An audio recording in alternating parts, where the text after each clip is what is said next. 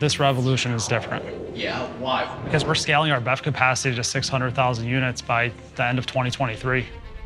because our products are being so well received, whether it's the Mach-E, the F-150 Lightning, or the Transit BEV.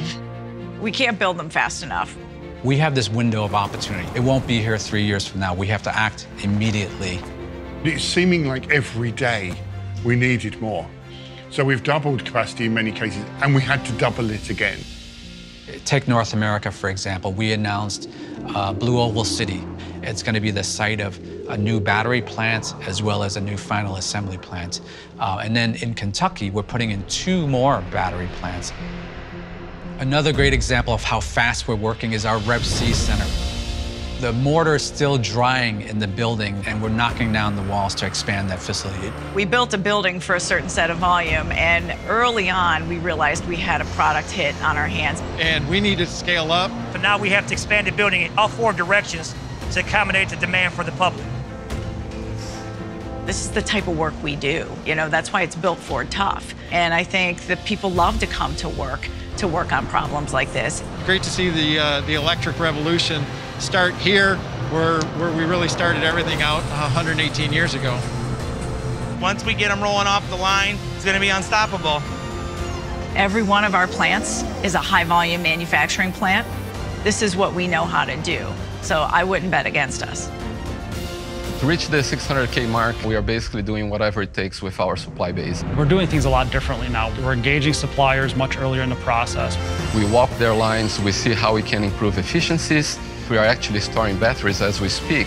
This is not our first rodeo. No one's gonna find a reason why not to do it. Everyone's gonna find a reason why we're gonna do it. When we started this Go Fast Capacity Task Force, one of the biggest things that we've changed is the interactions with senior leadership. It's like curling. That's what the management team's doing.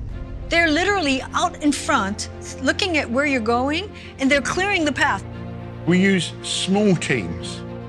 It is 15 leads in the task force delivering an entire Ford ecosystem of expertise. The result of that, we found $1,000 of cost in around eight weeks' work. This isn't just a North American effort, this is a global effort.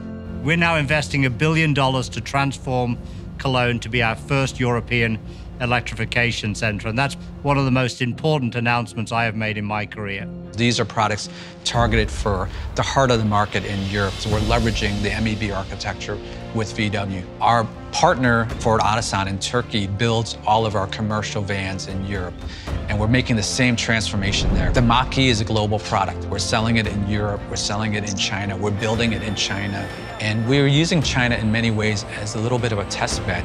We are direct to customer and also carry no inventory with order to delivery. So you're able to order a Mustang Mach-E in as few as 13 clicks, and that is the lowest in the industry in China.